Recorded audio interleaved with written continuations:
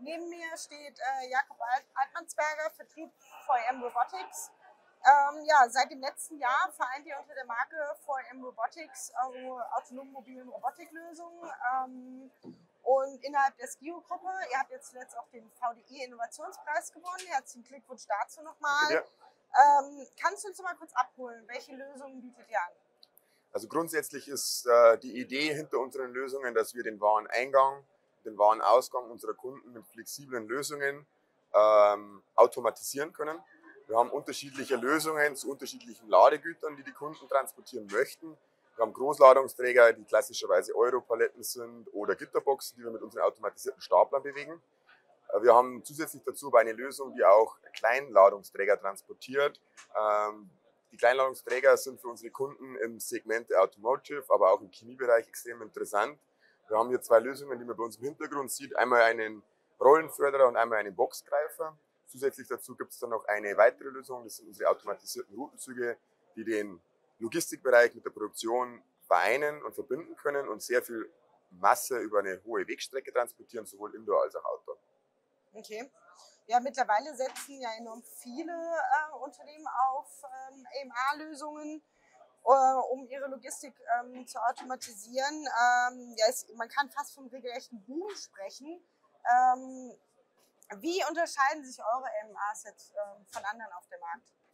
Ähm, grundsätzlich sind wir im Bereich der Automatisierungstechnik schon seit einigen Jahrzehnten unterwegs. Das heißt, wir kennen A, die Kundenprozesse in der Logistik sehr, sehr gut und wir sind sehr, sehr tief in dem Bereich der Sicherheitstechnik beheimatet. Das heißt, der Fokus unserer Systeme ist natürlich immer sicher zu sein, allen Normen zu erfüllen, aber zusätzlich dazu nochmal einen Tick sicherer unterwegs zu sein, wie das unsere Marktbegleiter machen. Äh, nebenbei dabei sind wir getrieben durch unsere Kunden aus dem Automobilsektor ähm, sehr fokussiert darauf, hohe technische Verfügbarkeit zu liefern, was dem Kunden über mehrere Jahre natürlich Geld sparen soll. Ähm, weiterhin unterscheiden wir uns ein bisschen zum Markt, dass wir Standard-Industriekomponenten verwenden, um unseren Kunden und Partnern den First-Level-Support äh, zu erleichtern und hier uns wirklich auf das Thema Inbetriebnahme und Integration zu konzentrieren. Okay. okay. Du hast jetzt schon angeschnitten, ähm, ja, dass Sie in, ja, in der Automobilindustrie ähm, sind viel im Einsatz. Äh, in welchen anderen ja, Bereichen, wo ähm, sind denn die Lösungen noch vertreten? Also grundsätzlich ist es mir so, äh, jeder Kunde, der Warenströme automatisieren möchte, ist letzten Endes ein potenzieller Kunde oder ist schon Kunde. Stand heute ist es natürlich so, dass äh, getrieben durch äh, den, äh, den Boom äh, die Automatisierungstechnik natürlich einer der ersten ist, die die Automatisierungslösungen testen, einsetzen und uns Lieferanten zu einer Serienreife ähm, ja, bringen oder drängen, dann ich jetzt mal. Aber grundsätzlich ist auch die Chemiebranche ein klassischer Kundensegment, wo wir schon im Einsatz sind, wo wir auch noch tiefer rein wollen. Äh, Kontraktlogistiker sind klassische Kunden, die natürlich sehr viel Ware von A nach B transportieren wollen. Wie gesagt, jeder Kunde, der Material von A nach B bewegen möchte, ist ein potenzieller Kunde für uns. Du hast äh, eure zwei Cobalt-Lösungen, die ihr dabei habt, ähm, eben schon kurz erwähnt. Ähm, soweit ich im Bilde bin, ist hier der API eure, ja, euer neuestes Projekt. Äh, ja, was steckt dahinter?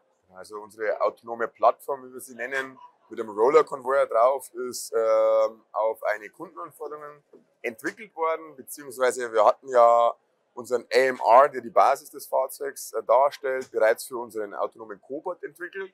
Und wir wollen jetzt hier die Vielfältigkeit des Fahrzeugs darstellen, indem wir auf den autonomen äh, auf die autonome Basis einen Roller-Convoyer draufsetzen, mit dem wir Ware transportieren können. Das Einsatzgebiet ist jetzt im Lab in den Laborumgebungen, wo wir Laborware transportieren, um äh, die Produkte aus, der, aus dem Prozess heraus im Labor testen zu lassen. Hier sind wir quasi der Verbinder zwischen Pro Produktion und äh, den Labormitarbeitern. Okay, gut, dann vielen Dank und noch viel Erfolg. Dankeschön.